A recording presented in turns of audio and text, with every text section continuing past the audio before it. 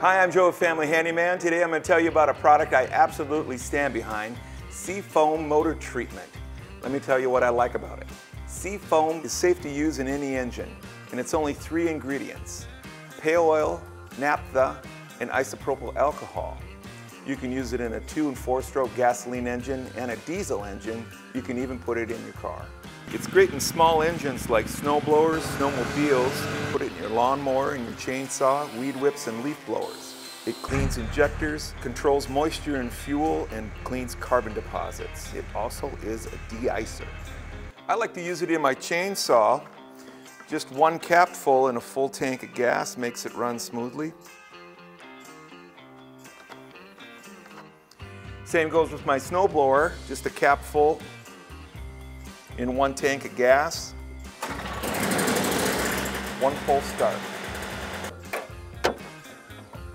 Now when it comes to your car, you can pour Seafoam right into the crankcase oil just about 300 miles before your next oil change. This acts like an engine flush, removing deposits and residue that restrict oil flow. Now you need to know the oil capacity of your engine. Now you can find that in the owner's manual or online. Add just one ounce of Seafoam for every quart of oil. Seafoam is Family Handyman approved.